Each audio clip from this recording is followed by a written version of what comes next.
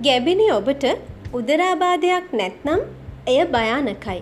ඕනම කාන්තාවකට වගේම විශේෂයෙන්ම ගැබිනියක් වෙන්න බලාපොරොත්තුවෙන් ඉන්න ඔබට මේ වීඩියෝව ගොඩක් වැදගත් වේවි. ඒ නිසා මුල ඉඳන් අවසන් වෙනකම්ම මතක ඇතුව බලන්න.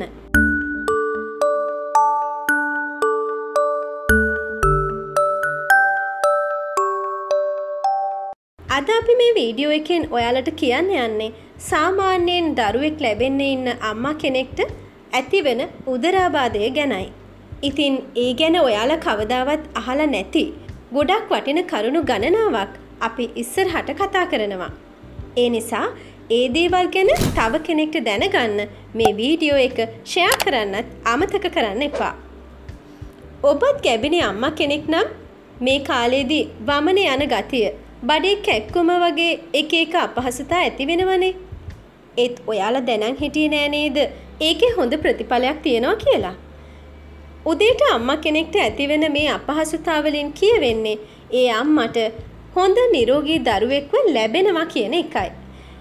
ගැබිනි අම්මා කෙනෙක් වෙන ඔයාටත් ගොඩක් දරුණුවට මේ බඩේ වේදනාව ඇති වෙනවා නම් අනිවාර්යෙන්ම හොඳට වතුර බොන්න. ඒ වගේම කෑම කනකොට පොඩි පොඩි කටවල් කන්න පුළුවන් නම් අන්න ඒකත් ගොඩක් හොඳයි. ආමන් ඇට, පෙපර්මින්ට්, ඉඟුරු රස ටොෆි එහෙම කනවනම් ඒකෙනුත් අම්මා කෙනෙක්ට ඇතිවන බඩේ වේදනාව අඩු කරගන්න පුළුවන් වෙනවා. ඒ වගේම තමයි මේ කාලෙදී ගොඩක් හොඳට විවේකය ගන්න ඕනේ. ගැබිනි අම්මලාට දරුවෙක් ලැබෙන්න ඉන්නකොට පළවෙනි මාස තුනේදී විතර වමන යන ගතිය, කෑම අප්පිරියාව කෑම අප්‍රියතාවය ඒ වගේම බඩේ වේදනාවත් ඇතිවෙන්න ඉඩකඩ තියෙනවා. මෙන්න මේක ගොඩක් අම්මලාට අපහසුතාවයක් වෙනවා. ඒත් මෙහෙම වෙන එක ඔබට නිරෝගී දරුවෙක් ලැබෙන එකට පෙර නිමිත්තක් විදිහට ගන්න පුළුවන්.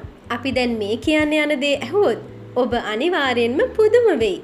ඒ තමයි මේ විදිහට වේදනාවන් ඇතිවෙන අම්මලා ගොඩක් නිරෝගී දරුවන් බිහි කරනවා වගේම ඒ අම්මලාට ගබ්සා වෙන්න තියෙන ඉඩකඩත් හරිම අඩුයි කියන එක. ගොඩක්ම නොමේරූ දරුවන් ලැබෙන්නේ උදරාබාධයක් හැදුනේ නැති අම්මා කෙනෙක්ට තමයි. ගැබ්ගෙන ඉන්න මුලදී වැදෑමහේ හැදෙන හෝමෝනයක් හින්දා තමයි මේ වගේ වේදනාවන් ඇති වෙන්නේ.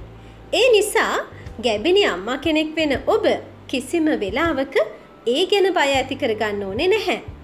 එහෙම කියලා මේ විදිහට වේදනාවක් ඇති වෙන්නේ නැත්නම් ඒ ගැන දුක්වෙවී ඉන්නත් එපා. ලෝකයේ දියුණුවත් එක්ක වෛද්‍යවරුන් පවා පෙන්නලා දීලා තියෙන්නේ ගැබ්ගත් මුල් කාලෙදී ඇතිවෙන මෙවැනි වේදනා අම්මා කෙනෙක් වෙන ඔයාට හොඳ ප්‍රතිඵලයක් ලබා ගන්න ඉඩකඩ ලබා දෙනවා කියන එකයි.